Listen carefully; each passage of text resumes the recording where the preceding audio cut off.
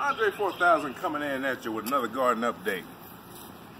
Well, my last video this morning, I, I neglected to tell y'all about the benefits of the indigenous soil microbes.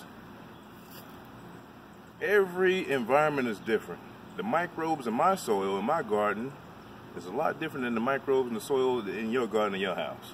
The soil, the microbes in the soil of your house, they've um, become acclimated to the environment, to the surroundings. So it's a total different thing. So here's what it is. Right over here. Well, first of all, let's start off with another update with the plums. Right over here. So here's one plum. Here's another plum. I failed to mention I got my son helping me out today, y'all.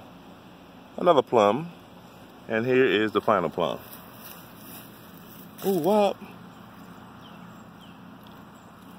All right, well, anyway, we're talking about the, microbes. There are different microbes just like there are different people, different races of people. You know, my genetics, I'm pretty good at running and jumping, being fast, even though I'm a heavy, heavy fella. Everybody's genetics is different. Next fella that's, that my size may not be able to do what I do.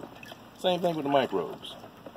So you want to blend different microbes. So that's why I got the microbes from the compost that I made that um, I showed y'all earlier today. And I got the indigenous microbes that I harvested from the soil over there earlier. And everything is brewing right here. I'm gonna come out here later on tonight and I'll put some more molasses in here. What you gotta do is every every now and then you gotta come out here and stir this stuff so um, bring oxygen. Anyway, what I'm doing right here is just brewing microbes. Over the coming days, you'll see there'll be a froth on top of the um, tea here. When you see that froth, that's basically microbe activity. Come Wednesday, it'll be super, super frothy. And I'm going to definitely update and show y'all what to do. Alright, 4,000 over now.